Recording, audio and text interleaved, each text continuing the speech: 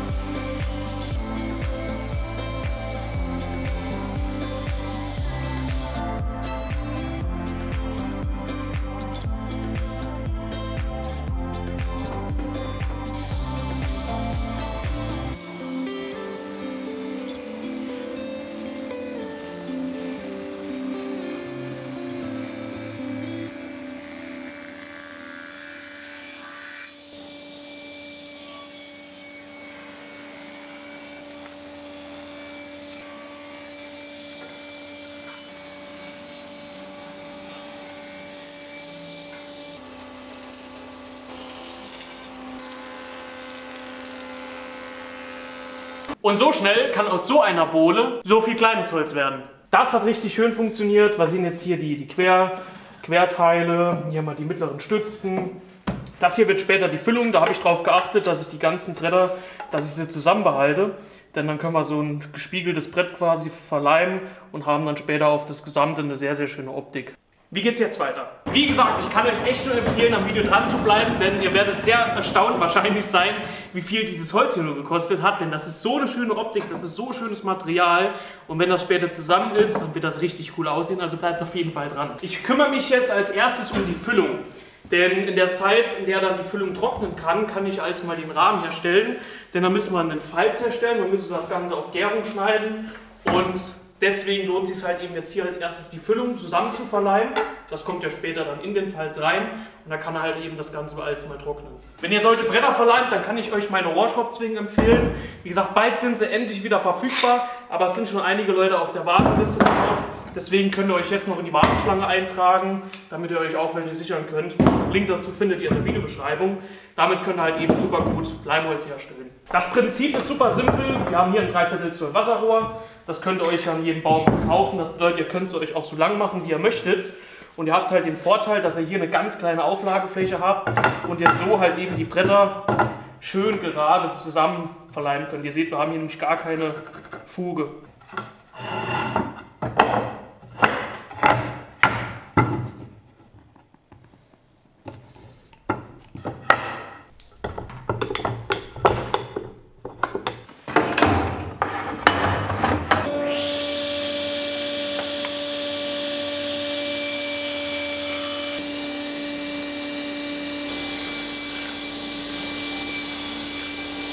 Zur Ecküberblattung. Ich habe mir jetzt hier die Breite eingestellt und ich habe mir die ungefähre Höhe vom Sägeblatt eingestellt. Das bedeutet, ich habe mal nachgemessen, ich stehe jetzt bei ungefähr 13,5 mm. Da ist auch ein kleiner Trick für euch. Ihr müsst nicht ganz, ganz genau das Sägeblatt auf die Hälfte vom Schnitt einstellen. Wenn ihr bei 14,5 zum Beispiel seid, ist das für die ersten Teile genau genug. Dann könnt ihr einfach das Gegen, Gegenstück, wenn ihr halt zum Beispiel die Überplattung irgendwo reinlegt, dann muss halt das Gegenstück genau passen. Ist aber halt einfach ein bisschen einfacher, das Gegenstück anzupassen, als genau die Hälfte zu nehmen. Ihr werdet auch gleich sehen, wie ich das Material wieder seitlich wegdrücke oder wegschneide. Die Tischkreissäge hält das auf jeden Fall aus. Die sind auch grundsätzlich dafür gemacht, aber wenn ihr jetzt eine 100 Euro Tischkreissäge habt, dann müsst ihr halt ein bisschen aufpassen. Wahrscheinlich ist da dann ein relativ dünnes Blatt drin. Das hier ist ein 3 mm starkes Blatt, beziehungsweise die Zähne sind 3 mm stark. Es ist ein Kombiblatt und damit kann man das auf jeden Fall machen. Also wenn ihr auch eine stärkere Tischkreissäge habt, eine massivere, ist das kein Problem. Wenn ihr eine ganz, ganz leichtbau Tischkreissäge habt, da müsst ihr halt umso weniger wegschneiden. Let's go!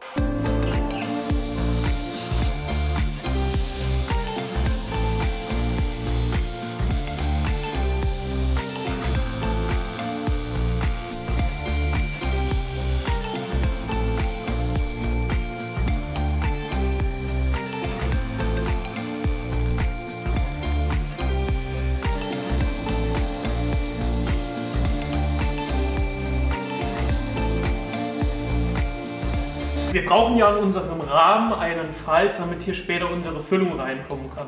Also dieses Material hier muss weg, damit wir einen Falz haben. Nun seht ihr, dass ich diese ganzen Holzteile die ganze Zeit hier auf meinem schönen Frästisch herumschiebe. Ich benutze den Frästisch aber nicht so gerne, weil die Höhenverstellung, die ich damals gebaut habe, die ist nicht so gut.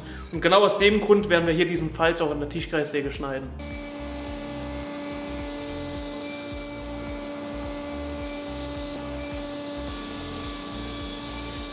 So, eine Stunde ist vergangen. Das bedeutet, wir können jetzt damit weiterarbeiten.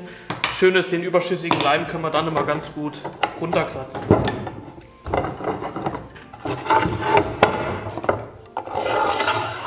Schon wieder der klare Vorteil von einem Landwandschneifer.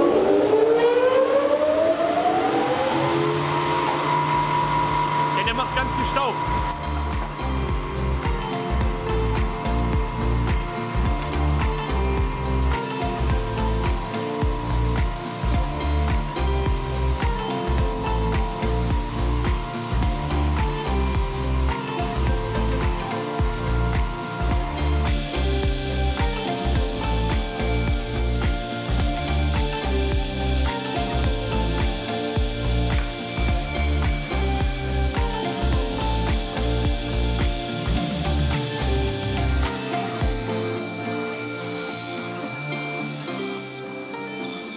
Das war jetzt ganz schön viel Arbeit für hier diese ganzen Teile, für die ganzen Teile zuzuschneiden, hobeln und so weiter und so fort.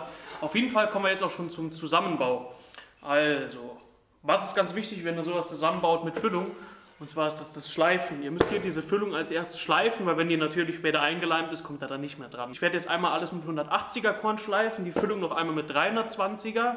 Aber hier diese Balken, diese Balkenteile, die werde ich alle jetzt nur mit 180 schleifen, weil die Oberflächen, die man später auch aktiv mal so anfassen tut, die schleife ich vielleicht später dann noch ein bisschen feiner.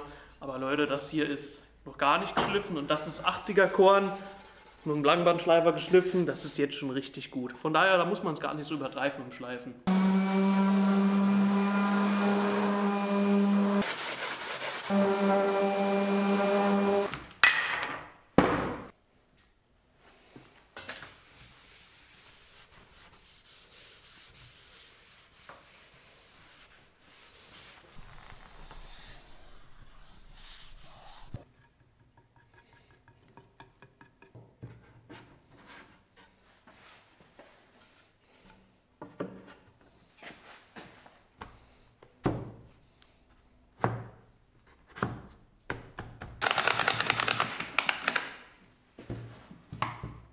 Weil ich hier in diese Hölzer auch jetzt gleich nicht mehr so gut rankommen werde, habe ich die auch als mal gefinisht.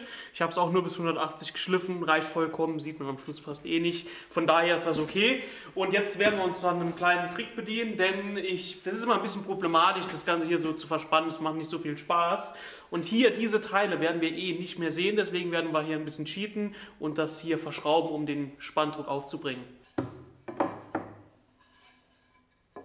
So, Holzleim, Holzleim.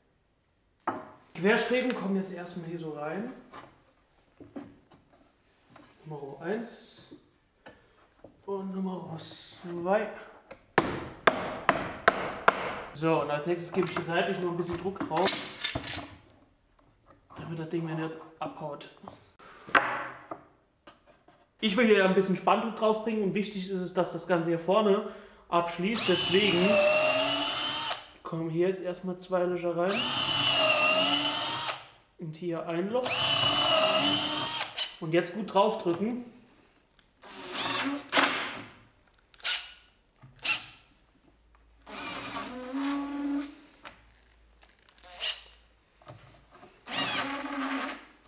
So, jetzt haben wir hier schön Spanndruck drauf gegeben. Oh, immer, ne? So weit sind wir schon mal gekommen. Hier habe ich mal im Hintergrund noch eine Tischplatte zusammengeleimt. Das sind einfach zwei Bohlen gehobelt und zusammengeleimt.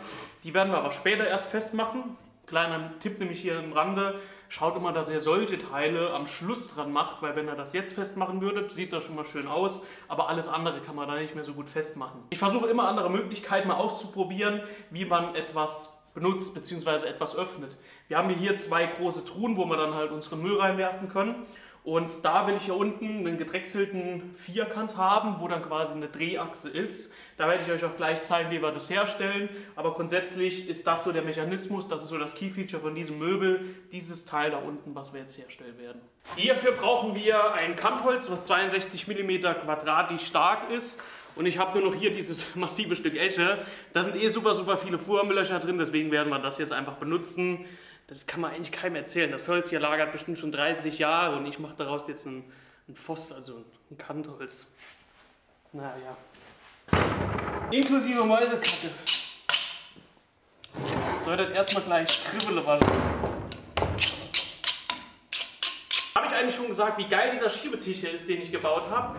Also der ist nicht gekauft, ich finde, der sieht aus wie gekauft, aber den habe ich selbst gebaut vor ein paar Wochen. Da gibt es auch ein eigenes Video, das verlinke ich euch mal oben rechts. Das ist ein Schiebetisch und das macht so viel mehr aus einer Tischkreissäge, wenn man halt ein bisschen mehr Platz hat. Denn grundsätzlich erspart man sich halt eigentlich fast eine Kappsäge, weil hier dran die Teile ablenken ist viel geiler als an einer Kappsäge. Von der Stabilität her ist das auch echt gut. Also das, was da jetzt kippelt, ist nur die Tischkreissäge, wo der Keil nicht mehr richtig drunter liegt. Aber grundsätzlich habe ich hier schon Massivholzbohlen draufgelegt, wo eine Bohle bestimmt 40, 50 Kilo gewogen hat und halt auch drei Meter lang war. Von daher war das bis jetzt so der praktischste Bau, den ich gebaut habe hier in der neuen Werkstatt.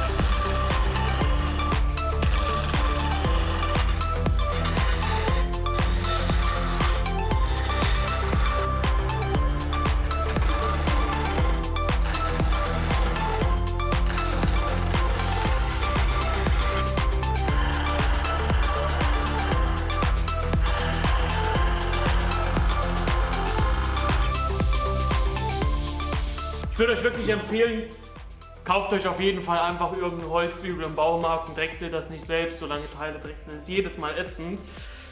Wir haben es jetzt auf jeden Fall fertig. Das Teil kommt hier so rein. Und jetzt haben wir unseren Drehpunkt. Jetzt bauen wir ein paar Plappenteile zusammen. Da kommt nämlich dann der Müll rein und das gibt es jetzt im Schnelldurchlauf.